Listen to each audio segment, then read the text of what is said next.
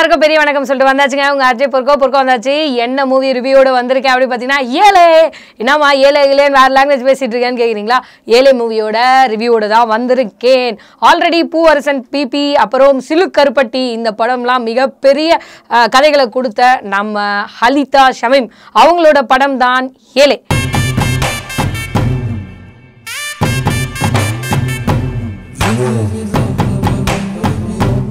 ஏழே படத்தை பற்றி பார்க்கலாம். ஏழையில் வந்து நம்ம சமுத்திரக்கனி அதுக்கப்புறம் மணிகண்டன் ஆல்ரெடி வந்து காலா படம் பண்ணியிருக்கா. அதுக்கு முன்னாடி நிறைய படம் பண்ணியிருந்தாலும் காலால ரஜினி சாரோட மூணாவது பையனாக பண்ணியிருந்தாரு.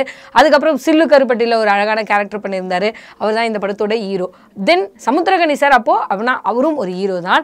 ஹீரோவோட அப்பாவாக பண்ணியிருக்காரு. அவருக்கும் ஒரு நல்ல கேரக்டர் அண்ட் தென் வந்து மதுமதி அப்படின்னு சொல்லிட்டு ஒரு ஹீரோயின் பண்ணியிருக்காங்க. இந்த கதையில் வந்து நிறைய ஆர்டிஸ்ட் பண்ணியிருக்காங்க.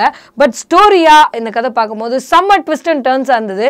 ஒரு சில படங்கள் பார்க்கும்போது அடுத்து இதான்ப்பா சீன் அப்படின்னு நமக்கு தோணும். அதே சீன் வந்தோடனே ஒரு டே- த சலிப்பாயிடும். சே எதிர்பார்த்த சீன் தான் போ அப்படின்னு. ஆனால் இந்த படத்தில் அதே மாதிரி இந்த சீனுக்கு அடுத்து இந்த சீன் தான் வரப்போகுது இவர் இவராக தான் இருக்க போகிறாரு அப்படின்னு நமக்கு தோணுது.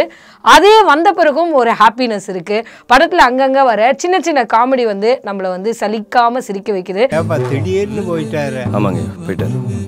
இன்னைக்கா நாளைக்கா? இன்னைக்கு தான் நீங்கள் எப்படி? ரொம்ப லோலாய் பண்றியா ராஜ்கோல். அங்கங்கே வர லவ் சீன்ஸ். மதுமதிக்கும் நம்ம மணிகண்டனுக்கும் வர லவ் சீன்ஸ் நம்மளை ரொம்பவே வியக்க வைக்குது. அது இல்லாமல் சமுத்திரக்கண்ணி வந்து இதில் அந்த பெரிய பெரிய டைலாக்ஸ் மாஸாக வந்து இப்படித்தான் அப்படித்தான் அப்படின்னு அட்வைஸ் பண்ணாமல் ரொம்ப சைலண்ட்டாக பேசி வாசிச்சிருக்காரு. அது ரொம்பவே நல்லா இருக்கு. படத்துக்கு மிகப்பெரிய ப்ளஸ் பாயிண்ட் இதுன்னு கூட சொல்லலாம். ஸ்டார்டிங் சமுத்திரக்கண்ணி இறந்துட்டாரு அப்படின்னு சொல்லிட்டு அவங்க மகன் பார்க்க வராரு மணிகண்டன். ஆனால் அப்பா இறந்த எந்த ஃபீலிங்குமே இல்லாமல் வந்து எனக்கு பசியுது நான் சாப்பிட்ணும் அப்படின்னு சொல்லிட்டு கடையில் போய் நல்லா பரோட்டாவில் சால் நான் ஊற்றி பசஞ்சு சாப்பிட்டுக்கிட்டு இருக்கேன் அவர் என்ன ஆச்சு? ஏன் இவங்க ரெண்டு பேருக்குள்ளே இப்படி ஒரு இடைவெளி? இப்படின்னு யோசிச்சுட்டு இருக்கும்போது சமுத்திரகனிக்கு ஒரு மகள். அந்த மகள் வந்து ஒரு சின்ன விஷயம் அவங்க தம்பிக்கிட்ட சொல்கிறா அதுக்கப்புறம் கதை எப்படி மூவ் ஆகுது? அந்த டெட் பாடி வச்சுக்கிட்டே அவர் வந்து யோசிக்கிறாரு சின்ன வயசில் எப்படி இருந்தோம் அப்படி இருந்தோம்னு சொல்லிட்டு. சின்ன வயசுல சமுத்திரகனி வந்து இந்த நம்ம பால் ஐஸ் சேமி ஐஸ்லாம் சாப்பிட்ருப்போம் பார்த்தீங்களா? அந்த ஐஸ் பெட்டி வச்சு விற்கிறவர் அதுதான் ஏழே ஐஸ் பெட்டி அந்த ஐஸ் பெட்டியில் அந்த ஐஸை விற்கிறவர் அதுக்கப்புறம் அவரோட கதாபாத்திரம் என்னவா இருக்குது அப்படின்னு பார்த்தீங்கன்னா சில சில விஷயங்களில் நிறைய பேரை ஏமாற்றி இது பண்ணுறது அப்புறம் இந்த லாட்ரி டிக்கெட்லாம் வாங்குறது இந்த மாதிரி சின்ன விஷயங்கள். இது எல்லாத்தையும் பார்க்குற தன்னோட பையன் மணிகண்டன் வந்து அப்பா மேலே ஒரு சின்ன விரக்தி வருது. அதனால தான் இவங்க ரெண்டு பேரும் பேசாமல் பிரிஞ்சு போனாங்களா அப்படின்ற ஸ்டோரி தான் அடுத்தடுத்து நகர்ந்து வருது.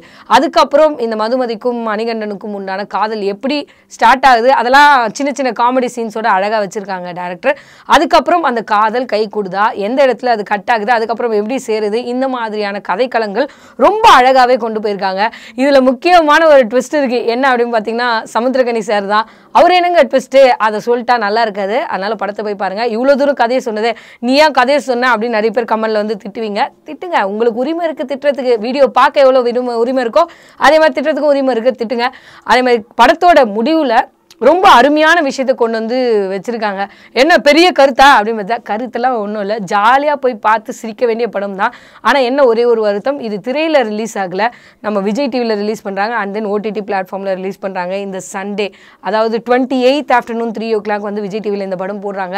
கண்டிப்பாக படத்தை பாருங்கள் ஒரு two and half hours two hours forty minutes வந்து உங்கள் லைஃப்பில் வந்து வேஸ்ட் ஆகாது அப்படின்னு ஒரு நம்பிக்கை மட்டும் என்னால் கொடுக்க முடியும். படத்தை ரொம்ப ஆஹா ஓஹோ செம்ம சூப்பர் அப்படிலாம் சொல்லனாலும் பார்த்து சிரித்து ரசித்து பார்க்க முடிய பார்க்கக்கூடிய ஒரு படம் தான் இந்த ஏழை ஏழை செமையாக இருக்குது நீங்களும் பார்த்துட்டு உங்களோட ரிவ்யூ என்ன அப்படின்னு சொல்லிட்டு நம்ம ரிவ்யூ கீழே கமெண்டில் போட்டுருங்க. மறந்துடாமல் இந்த சப்ஸ்கிரைபு பெல்லு அப்புறம் இந்த கமெண்டு ஷேரு லைக்கு இது எல்லாத்தையும் பண்ணுறேங்க ஓகேவா நீங்கள் பண்ணுவீங்கன்னு எனக்கு தெரியும். நாளைக்கு இன்னொரு ரிவ்யூவோட உங்களை வந்து சந்திக்கிறேன். அது வரைக்கும் டாட்டா பை பை சொல்கிறது உங்கள் அர்ஜய் பொற்கோ பை டெய்லி ஞாயிறு மதியம் மூன்று மணிக்கு.